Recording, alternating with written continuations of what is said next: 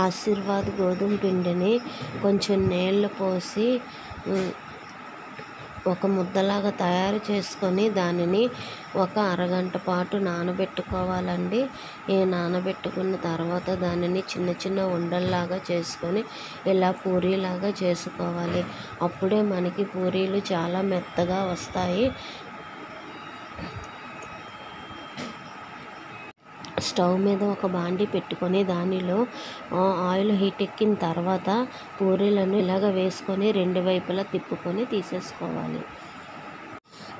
Finally నాకు potato curry అనేది నాకు ఇలా వచ్చిందండి.